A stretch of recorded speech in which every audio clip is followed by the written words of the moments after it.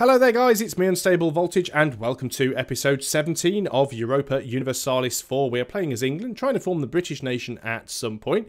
Uh, we've managed to send some of our um, scout ships with our explorer over to find the east coast of America, but it's too far away to colonise at the moment, so we're going to have a little look around and see if we can find... Um, well, it's Greenland we're looking for. Iceland's over here. I always get them mixed up. It confuses me. Because Iceland is the one that's green and Greenland is the one that's all covered in snow and ice.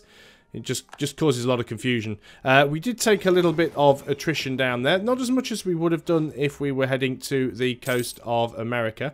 Uh, we have found the coast of Greenland, actually. Let's go up and have a look in this tile as soon as we can. And then we will return back down to Cornwall after that, of course and uh, maybe we can actually go over there and colonize. Maybe even that is a little bit too far away. But we are going to discover some more of these provinces.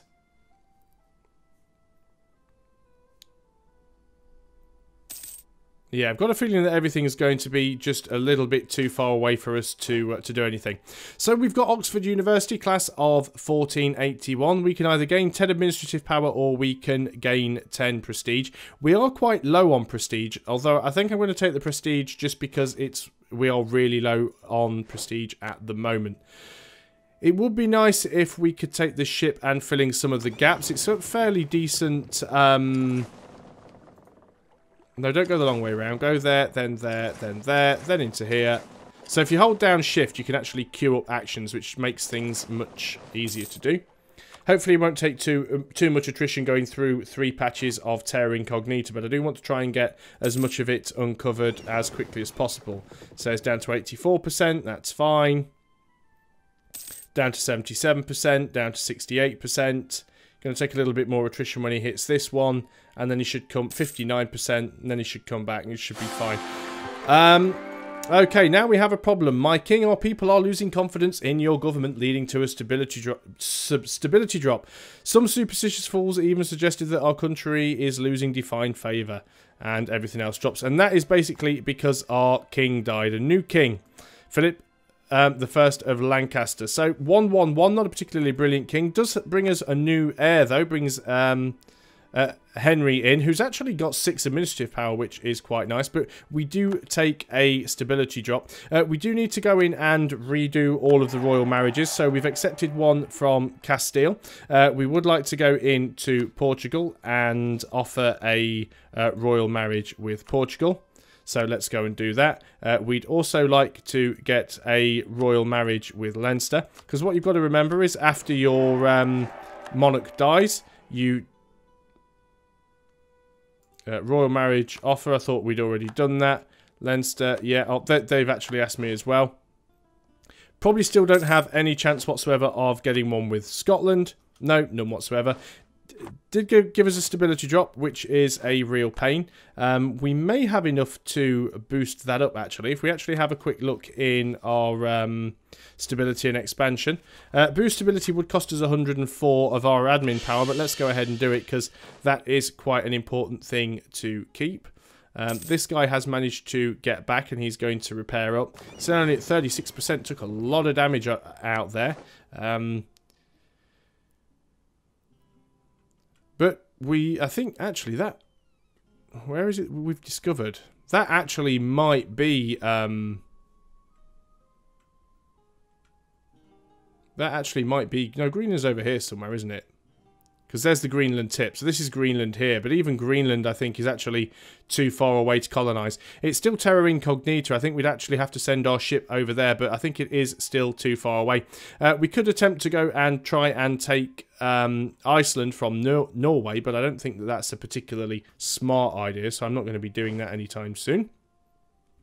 So we'll just allow things to continue. We should be able to build a few more um, temples now, which are going to help with our tax-based problems. Uh, we should also start thinking about getting some more ships built, but we can't do that. Uh, we're now out of uh, ducats. Uh, we've got a, another dead general. Well, that's fine. We'll save it until we need one. We're just trying to get our tax base up because that will give us more chance of getting uh, Leinster to become a vassal. So we got another event. We can either lose 10 papal influence for 10 prestige or we can gain 10 papal influence and lose the prestige. I think we're actually going to take the prestige. It leaves me with 42 papal influence, which we're not currently spending on anybody. Let's go for that guy there. He's only got 22 papal influence spent on him anyway. So let's go ahead and do that. Uh, probably wait until some of these temples are built. They do take quite some time. Let's just have a quick look at uh, Leinster, though, and see how uh, we are doing with them. Still wouldn't take vassalization yet. Um, why have we... Right, our diplomatic reputation is now down to zero. It was actually at plus two at some point. So now we're down to minus four instead of minus two, which is a little bit of a pain. Our military power compared to Leinster is um, 20. I'm not sure if it counts naval as well. Um, we could have a bigger military, but that's not going to help too much because we would be over our force limit. They have a friendly attitude towards us. Um, I think we still have our alliance. We could just give them some money. We could proclaim a guarantee. Uh, I think we'll just leave things as they are until we start to get our tax up. That's that's the main thing that is causing the issue right now is the difference in tax base. So let's start to wait until we get some of these temples built and then we should start to see a little bit of a difference there. Of course, we need to make sure that they've got a reputation of at least 390 as well. Um, oh sorry 190 which it currently isn't. So we are going to send in a diplomat to go ahead and improve the relations there. And just wait for things to continue on. Has that ship repaired? Yes it has. Let's go back over here into Greenland tip because even though we've already discovered the sea it may actually discover for us the um, it may actually discover the land for us. It does happen sometimes, so we want that to happen. So you're going to go back into Cornwall after you've done that little round trip. That mainly we're going to have to start saving up diplomatic power to increase our diplomatic technology and that will give us a better colony ranges. There are also some diplomatic advisors that give you an increased colony range as well and they are just as useful. Um, France has declared war on somebody. Brilliant.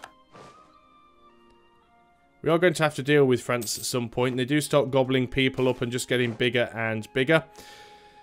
So, revolt in Cornwall. We can either ignore them and 12 regiments rise up to revolt in Cornwall, or Cornwall gets tax reduction for two years and gets a minus 10% tax modifier and we lose 1%. We're going to ignore them. We get some rebels. What we are going to do then is we are going to, first of all, take the game speed down a little bit, just so I don't get completely rolled over here we are going to hire ourselves a new military leader. So we can actually get um, a conquistador at this point. We're going to get a conquistador instead of a general because um, the conquistador basically they, they give you they, they're the same thing essentially. So let's go ahead and get a conquistador and now we have a, another leader and we can put that conquistador on to one of these armies. So a conquistador will essentially do exactly the same thing as a general will. Likewise an explorer will do the same thing as an admiral will.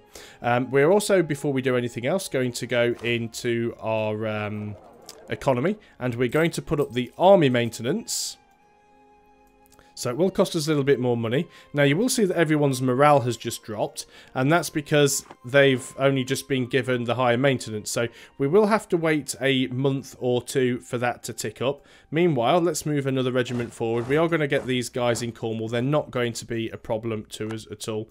Um, there are a few revolts that are actually... Um, possible to, to pop up. These ones that still want to pop up and defect to Brittany, we're basic. There's three places. It's all in um, all in Brittany. We're going to do harsh treatment on them all. 50 military power, 30 and 40.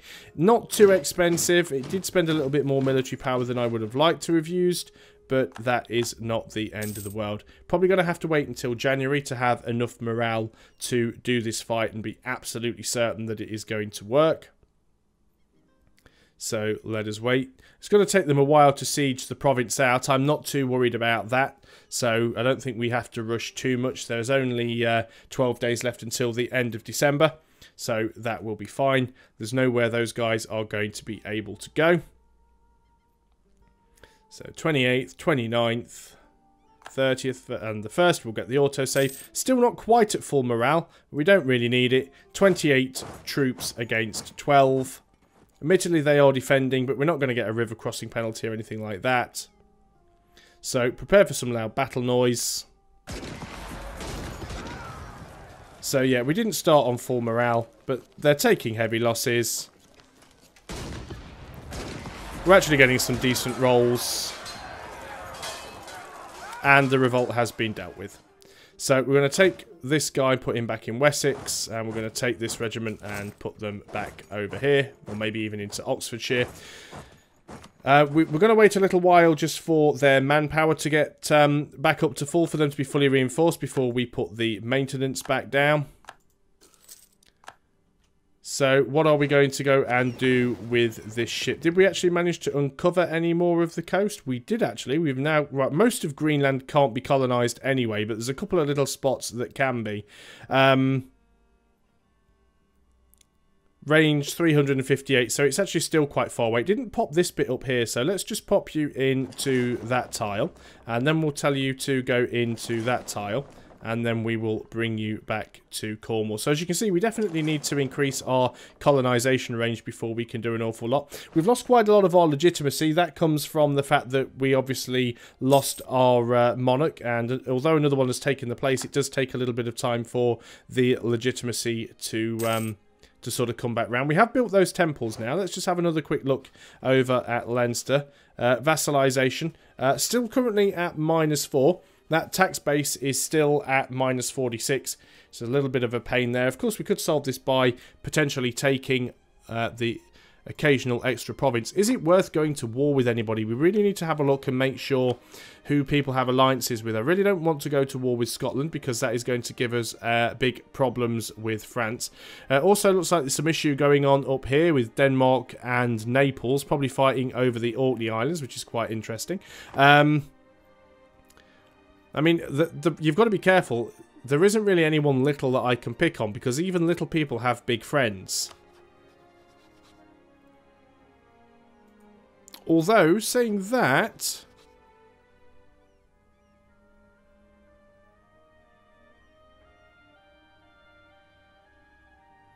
saying that Brittany, Brittany currently do not have a um, alliance with anybody. Do we have a core or a claim on that province? We don't. And I really should have been fabricating a, uh, a claim against that. So let us go into covert actions. Let's fabricate a claim there. I don't know why I hadn't done that before. It was stupid of me not to.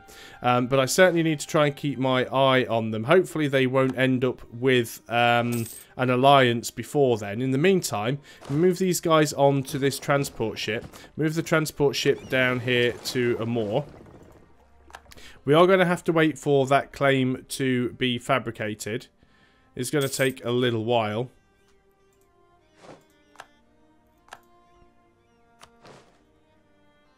Now, if there's nobody else involved in the war other than myself and Brittany, we can just literally wipe their army out, siege their single province, and that'll be a 100% war score almost straight the way. And th those are the best types of wars you can have.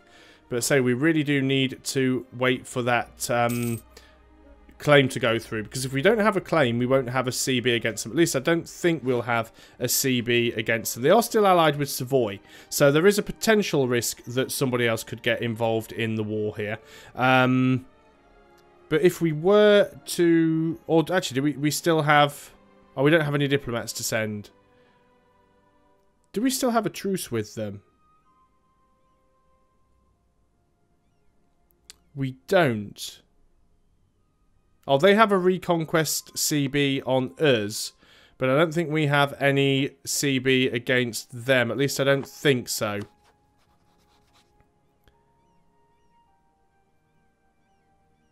Yeah, just on France. So we definitely need a CB, otherwise we'll lose stability if we attempt to go to war with them.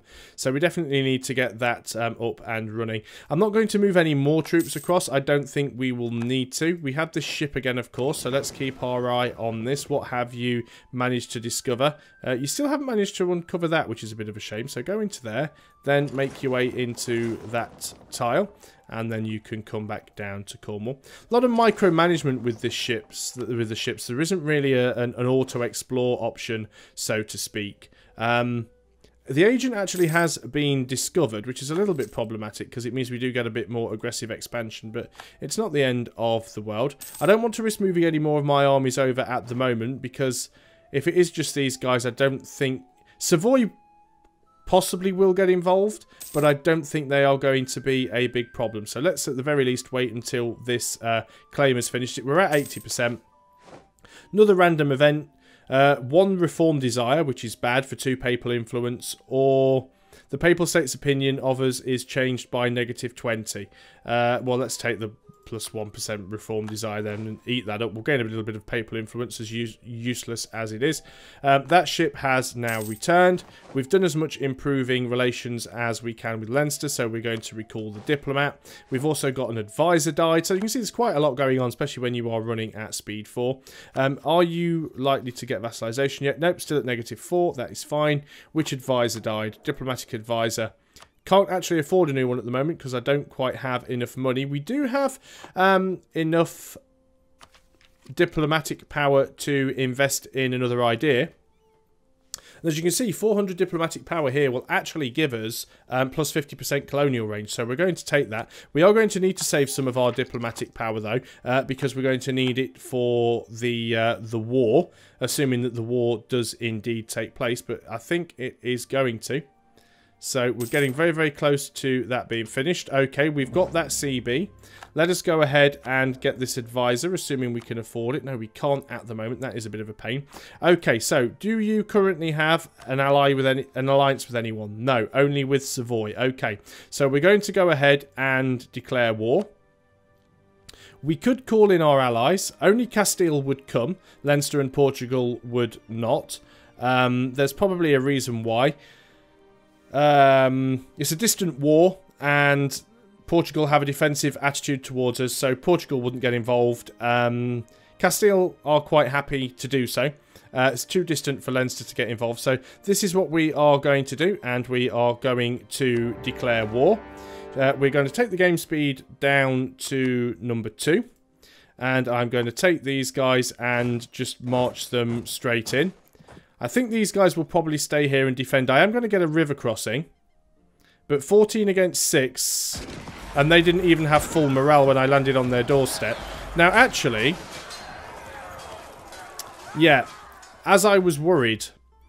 Um, Burgundy and Savoy have got involved. Not too bothered about Savoy. But Burgundy is potentially a problem. So what I'm going to do is go across to Kent and I'm going to bring in some more of my units. Now, mainly what we want to do is to try and defend against Burgundy as opposed to fight them. Now, my trade fleet should automatically come home anyway because they are set to come home if I'm at war. You guys need to move down here. So do you... Actually, you guys can move down to Wessex. They are trying to embargo me. We did win that battle, of course. Units have suffered casualties. Uh, well, let's get that advisor, assuming we can afford him. Yep, spy offence. Don't. It's just we need the extra diplomacy. Um, their units are breaking. It would be nice to, to chase them down if we can. There's no guarantee that that is going to work, though. They are actually stopping there in Poitou, so potentially I can just chase them down and wipe them out. And there we go, we wipe them out. So let's go and siege their province, because if we can successfully siege their province, then that is going to help a great deal. Let's take these guys here and attach them to the transport. This transport is then going to go and drop them in Co. I'm almost tempted to leave this um, army over here on our coast, just in case Burgundy tries to land any troops on the mainland. I don't think it is going to be too much of a problem, but uh, you never know. Our trade fleet should be coming home soon. I'm not going to risk sending my Explorer out at the moment. That seems a little dangerous. Just need to keep my eye on Burgundy. The big problem that Burgundy actually has, which might be our saving grace right here, is that Burgund for Burgundy to get to us, they would actually have to come through um, France's territory. And obviously France isn't going to give them open borders. I'm also going to take this um, fleet and move it down here into the uh, Khaybaryan Bay because once we manage to siege out Loire, the uh, this ship should uh, flee and we should hopefully be able to sink it. So at least we've now got into another war. We've got Castile coming in. I'm not too sure what Castile are going to be uh, able to do to help. But certainly, um, they've probably got a little bit of a better navy than I do. Just need to keep my, our eyes open and make sure that the uh, Burgundian army doesn't cause us too much problem. Once we've managed to take this, because this is the war goal, we will get a ticking war score and it will help things quite nicely. As you can see, we were at plus 2%. We're now only at plus 1. And the reason for that, of course, is because the defender controls the war goal, so the ticking war score is in their favour at the moment. But I think that's probably a good place to end this video, so I am going to do that here. So thanks a lot for watching, guys. I hope you are still enjoying Europa Universalis 4, and I'll see you on the next video. So until then, goodbye for now.